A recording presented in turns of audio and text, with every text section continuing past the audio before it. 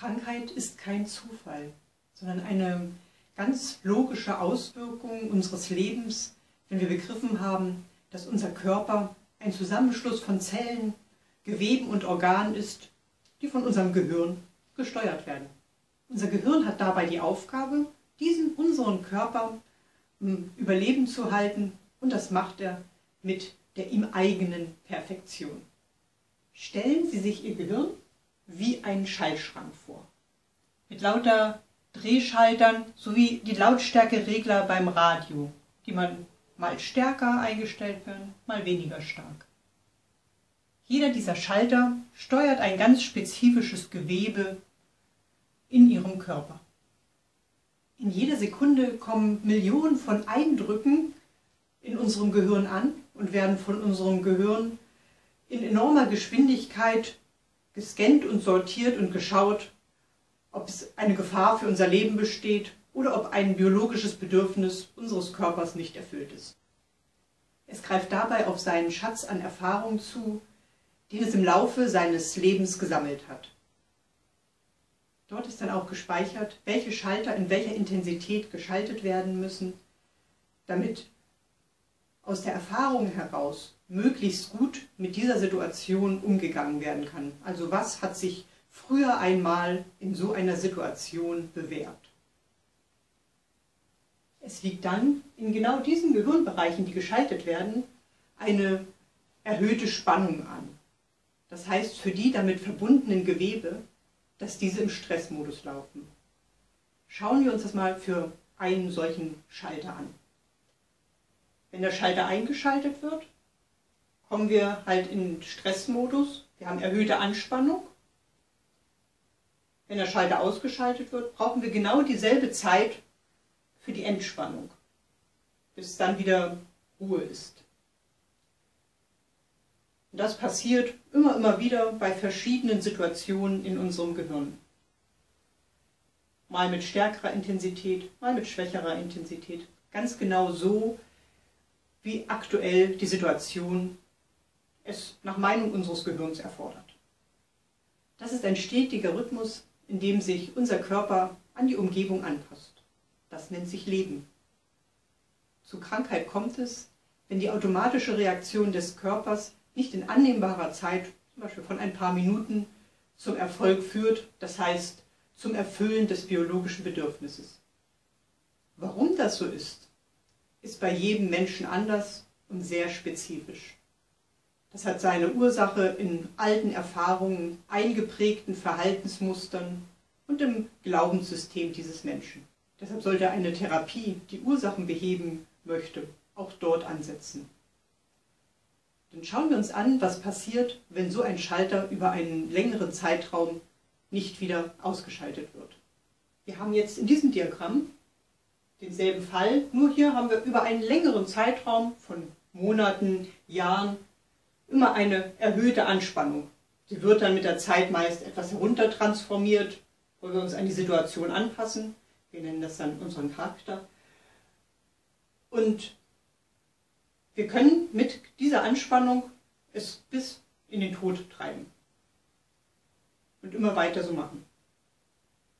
Wenn aber der Zeitpunkt kommt, dass wir durch eine Verhaltensänderung, durch einen Quantensprung in unserem Denken, durch die Änderung der äußeren Gegebenheiten eine Lösung dieses, dieses festgehaltenen Konflikts haben. Also wenn das biologische Bedürfnis erfüllt ist, aus welchem Grund auch immer, dann fängt wie im Rhythmus normal die Regeneration an. Das heißt, es kommt zu einer Entspannung. Da sich aber in dieser Zeit der Anspannung im Gehirn natürlich was getan hat, weil wenn in einem Gehirnbereich lange Zeit irgendwo Spannung anliegt, kommt es zu einem Kristallisationsprozess. Also es fährt sich so ein bisschen fest, es ist eine Kristallbildung im Gehirn. Wir merken diese Phase. Dort sind wir sehr aktiv. Wir haben ganz viel, viel Energie, um irgendwas durchzusetzen. Unsere Gedanken kommen nicht zur Ruhe, weil unsere Gedanken, die vielen Gedanken, die wir haben, sind nur ein Symptom genau dieser Phase. Und unsere Gedanken wollen uns dann sagen, mache das, dass dieses Bedürfnis erfüllt wird. Also unser Körper macht in dieser Zeit alles, um unser biologisches Bedürfnis möglichst schnell zu erfüllen. Er sendet uns ganz viele Gedanken, damit wir das Problem lösen. Wenn wir es dann geschafft haben, dann möchte natürlich einerseits der Gehirnbereich, der ja unter lange Zeit Anspannung gelaufen ist, und auch der Gewebebereich wird jetzt sozusagen eine Regenerationspause brauchen. Das heißt, alle plötzlichen Ereignisse, die uns mal eben aus dem Leben rausholen und uns sagen, Pause, jetzt ist Schluss, der Körper will nicht mehr so, die finden wir in diesen Bereichen. Deshalb werden die bevorzugt gerne Krankheit genannt. Aber das sind eigentlich die Selbstheilungsvorgänge des Körpers.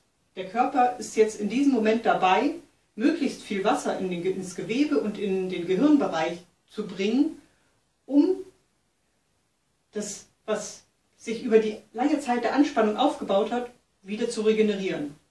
Also Gewebe, die hier mehr geworden sind, wieder abzubauen oder Gewebe, die sich hier unter der Anspannung abgebaut haben, hier wieder aufzubauen. Also hier passiert ganz viel. Hier haben wir Entzündungen, hier haben wir Fieber. Also hier ist sozusagen der Bereich, den wir normalerweise als Krankheit bezeichnen. Und der ist natürlich umso intensiver, umso länger und intensiver die Phase der Anspannung war. Und hier wirken die ganzen Mittel, die die verschiedenen Medizinen über die Jahre herausgefunden haben. Ob es nun die Schulmedizin ist mit ihren chemischen Mitteln oder die Naturmedizin mit ihren pflanzlichen Mitteln. Ziel ist es dort, diese Phase etwas abzumildern, damit sie für uns leichter erträglich wird. Weil durch müssen wir durch diese Phase. Weil unser Körper möchte sicher regenerieren. Und dann gibt es sozusagen mitten in, in dieser Regenerationsphase gibt es so den Punkt, an dem das Wasser im Gehirn, was sich dort hingezogen hat, um das Kristall aufzulösen, wieder ausgeschieden werden muss. Und das ist mit einer hohen Anspannung und hohen Sympathikotonie verbunden und das aus vollkommener Entspannung. Also wir schlafen ganz gemütlich und auf einmal sind wir hellwach. Dort sind auch ganz viele Ereignisse wie epileptische Anfälle und sowas, die uns erscheinen, als kommen sie aus dem Nichts. Aber sie sind die Folge eines langen Prozesses von über mehrere Monate über lange Zeiträume mit hoher Intensität.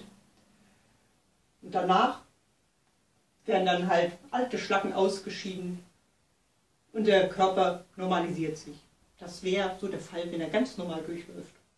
Ist bei Menschen eher ungewöhnlich, weil der Mensch, wenn er hier ist, denkt er, oh, ich glaube meinen Gedanken und fange wieder da vorne an. Also der menschliche Normalfall ist es nicht, aber so würde der Rhythmus sein, wenn er gerade durchfällt gehen würde. Und natürlich ist das nur ein Schalter. Wenn irgendein biologisches Bedürfnis nicht erfüllt ist, sind auch garantiert mehrere Schalter betroffen. Und diese Summe an Aktivierungen und Lösungen, die auch völlig gemischt auftreten, je nachdem welcher Schalter das ist, die nennen sich dann unsere Krankheitsbilder. Und das ist das, was dann in unserem Leben passiert. Und wir können natürlich davor Angst haben.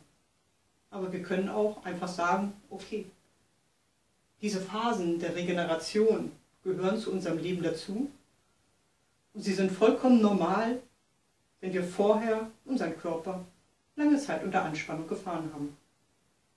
Und diese Anspannung, die merken wir irgendwann nicht mehr, weil unser Körper passt sich natürlich an und sagt, ach, das ist normal, dieser Anspannungslevel, der da ist.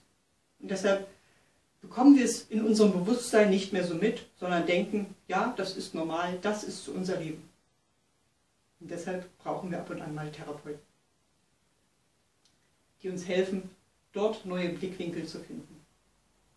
Welchen Weg sie jetzt für sich finden, damit ihre Schalter nicht mehr so lange an sind oder wie sie diese Phasen möglichst gut überstehen, ist auch sehr persönlich. Da gibt es keine Regeln, das muss jetzt so sein. Das hängt davon ab, warum schaltet sich dieser Schalter so lange nicht wieder aus? Und dann, was glaubt der Mensch über das Leben und über die Welt, damit er möglichst gut durchkommt? Wie geht er mit der Welt um? Das heißt, das beste Weltbild ist das, was uns möglichst gut handlungsfähig macht, was uns hilft, wenn wir die Situation mitbekommen, hier zu reagieren und möglichst schnell den Schalter auszuschalten. Und manchmal auch möglichst sacht und langsam, damit diese Phasen nicht so schnell werden, nicht so groß werden.